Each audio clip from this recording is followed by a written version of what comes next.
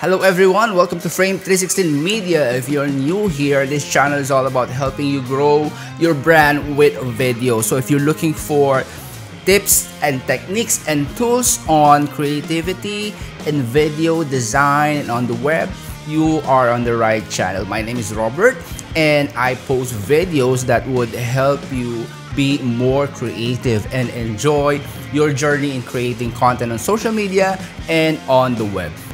In this video, I'm gonna talk about 5 editing techniques for beginners. So if you're just starting to edit your video, this video is perfectly fit for you. So stay tuned and I'm gonna break it down one by one to you. And the principles that I'm gonna be talking about is applicable whatever software you're using. But I'm gonna be demonstrating it on Premiere Pro and um, you can either use Filmora, iMovie, or uh, movie maker you know all, all those other softwares the same principle applies. So stay tuned and this video is coming up after this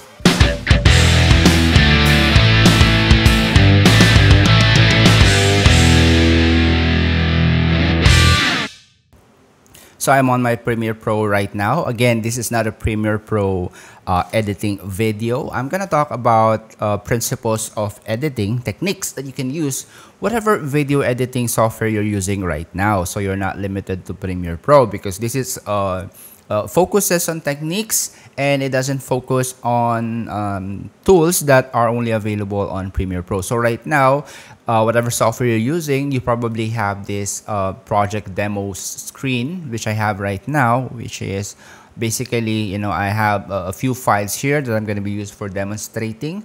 So I have a video, I have this uh, sequence, and I have a couple of music here. So I'm going to talk about what you can do as a beginning editor. You know, you don't need to rush things. Uh, remember this when you're uh, doing video editing, you don't need to rush things.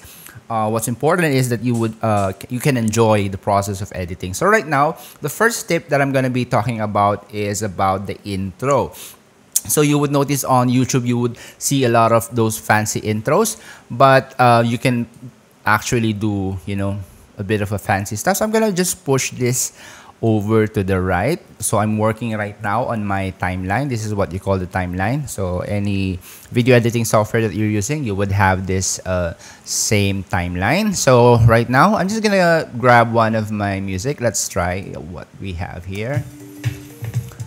Okay, so this is a um, boom, boom, boom. So I have like a bit of a groove. So I'm just gonna grab a few seconds, let's say coming from the beginning, and I'm just gonna get it around six seconds and I'm gonna get that part of the clip and just drag it here on my timeline. So right now what I have here is you know this is basically an intro for any video that you're using. So let's uh, watch this.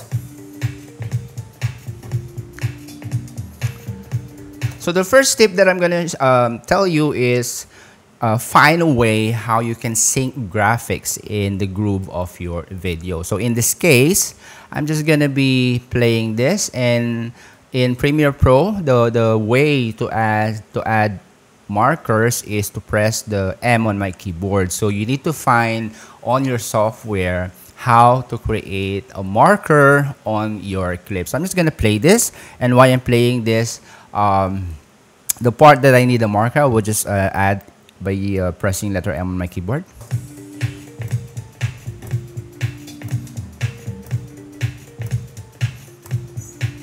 Okay, so if I can zoom in here, if I can show you this part here, you would notice this keyframe. So this is what I'm talking about. So as a beginning editor, uh, it would help you a lot to understand how to create keyframes and then just syncing, you know, bits and pieces of your intro. So let's do a very basic text intro for this. Uh, how I do it is I'm going to create a text, a simple text on my screen right now. Let's say this video is called Daily Video Tips. You know, just very basic stuff. This is not a tutorial on how to make your videos look good because I want to focus on uh, you know how you can be more creative even if you're just starting. So if i'm just gonna zoom in here again and i drag this text here. Okay, so what I'm to be doing is I'm to be aligning my playhead on the first uh, marker and I'm just to cut this. And I'm to bring this up. I'm going to go back, eh, I'm going to go forward to another marker. So basically what I'm doing on, on Premiere Pro is I am creating different instances of the text for every uh, marker on my timeline. So if I can basically see this, you don't need to have you know, advanced skills in animation, but you would be able to create you know something very interesting and not simple. Okay, daily video tips. presented by. So when you watch this okay you see that? It syncs in my okay let's say let's just use my brand name. Frame 316 and then just gonna bring this to the middle. And then the last part would be let's say for beginners. So as you can see I just use a very basic uh, font intro. I mean you can drop in your logos. You just try to find out how you can do that on your video editing software. But this is how it looks like see uh, it has that bit of a sync on the music. So I have a very basic intro here and it's up to you how you can really expand this. And next, I want to talk about audio levels. So let's say I'm going to bring in my videos here. So normally, you know, using the markers again, you would want to start where the markers is located. So if I'm going to, say I'm just going to push this here closer so that we don't have that much gap. Just gonna save this. And once I play this from the beginning,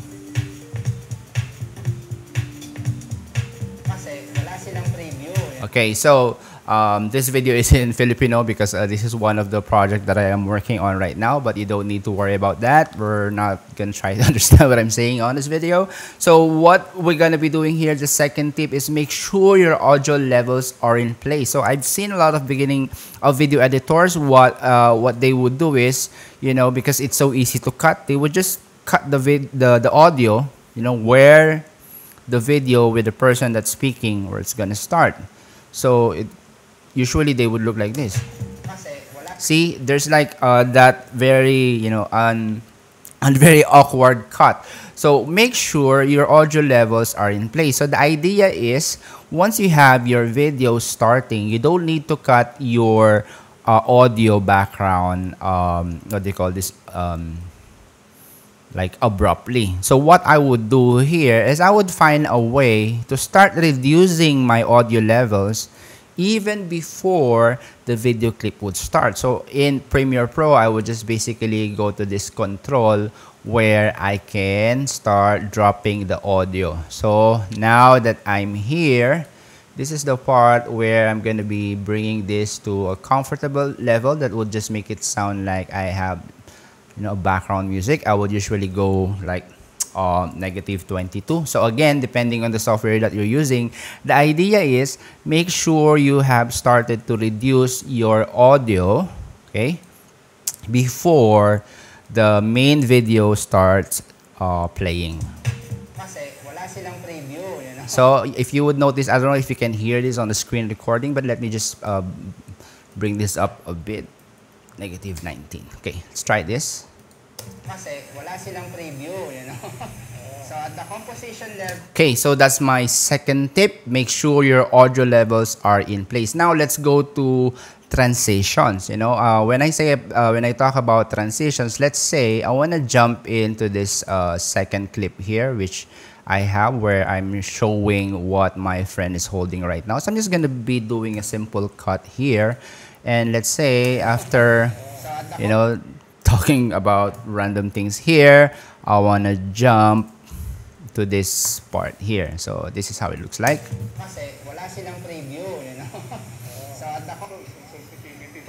Okay, so when I talk about transition, it talks about the transition on the video and on the audio. So right now, I would need a transition on my audio, but I'm not gonna do that because um, I mean, it's not important to what I'm showing right now, but my idea right now is let me just take out this uh, secondary video is if you're gonna add a transition, whatever transition you're gonna be using in Premiere Pro, I'm just gonna go to my effects and find my, let's say, uh, push, you know, where this is one of my favorite effect. So, you know, you have to find a way how you add those transitions. So after I added a push on my video, this is how it looks like. You see that? Um, so my tip for you is if you want something punchy, if you want something really, you know, interesting and engaging and not too dragging, make sure those transitions are really very snappy and quick. So how I do that in Premiere Pro is I'm gonna just select that transition and bring them closer together. So basically this is how it works in other video editing software. Just find you know, your transition area and find a way to reduce that so that it would move faster like this. Okay, something like that. You know, it makes it makes your uh, videos more interesting. And again, this doesn't require you to be an expert. You know, if you're just beginning your uh, video editing journey, uh, this is very important to learn. And now let's go to my fourth tip. Okay, this is another thing that I keep seeing on new video editors is that you know the contrast of their font is really really bad okay so let, let's let's talk about that okay let's say i'm gonna write here uh, photography okay because this is what we're talking about and let's try to find like let's say Arial Arial. okay so i'm gonna do Arial regular and just gonna try to make this bigger.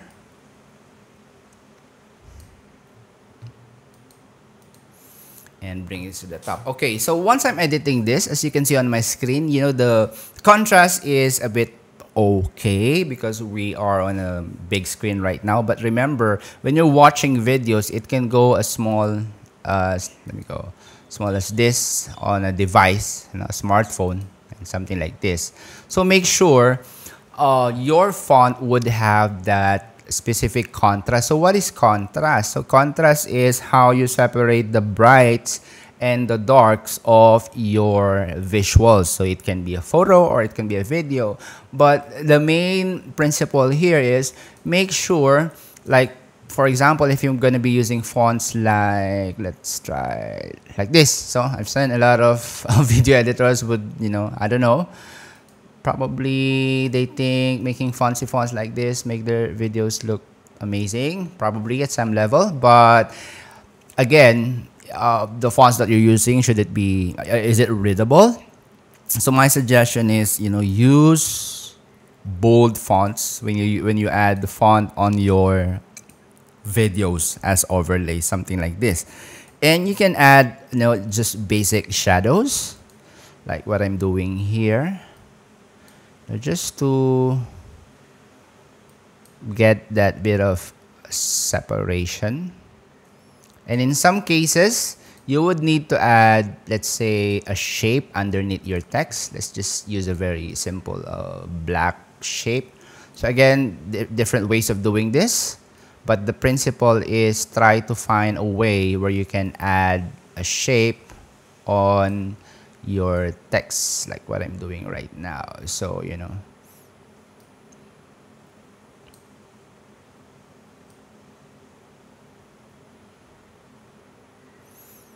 you can play around with the style as long as the reader would, you know, see, you know, that there's a text right there on your video. So, you know, in this style, I mean, that would give me, this is the contrast that I'm talking about. That's very clear. It's very sharp. You know, the, the viewer would understand what are the text that you're showing on your screen. So make sure whatever font you're going to be using, uh, remember to always have contrast. Okay, next is the B-roll. So what I'm talking about the B-roll is, um, right now, let's say I have a couple of shots. This shot here. But, you know, what you can do is add a few more b-rolls. Well b-rolls are called are basically you know the extra footage that you put on top of your video. So i have a few samples here like okay this i have a graphic here. This is related to what we're doing. So probably i would you know want to insert something here. And of course you would want to uh, adjust the size of your you know clips. So that's related to what we're talking about because we are in the Merlion in Singapore and I can, you know, after a few seconds of talking about this, let's say, topic, then I can jump and add in another, you know, um, footage here, you know. And again, I would just have to resize this to fit my screen like so. So those are just basic, you know, principles that you can start using if you're just beginning editor. This doesn't require, you know, advanced skills. So let's do a recap first. Try to create markers on your music when you're starting your video. That would give you like this really, uh, really, you know, fancy uh, intros, even if it's just a simple text like this. And then your audio transition before you start talking, make sure your audio levels are already on the way down. Okay? And then third, make your transitions fast and snappy. And fourth, make sure there's enough contrast on your font. And lastly, try to use supporting footage to make your shots really interesting.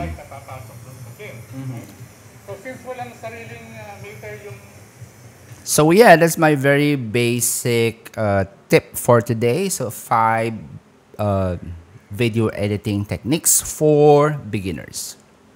Thank you for watching. I hope you learned something from this episode. And if you have any questions, please don't forget to put it on the uh, comment section below. And I would appreciate if you would subscribe or and hit the notification bell so you wouldn't miss out on videos like this in the future. So see you in my next videos.